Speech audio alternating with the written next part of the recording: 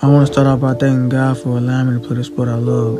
I want to thank my family, my friends, my supporters, and everyone that has believed in me. I'm so blessed to be in this position right now, and I couldn't have done it without putting God first. My journey has just begun, and I would like to announce that I am taking my talents to the University of Memphis.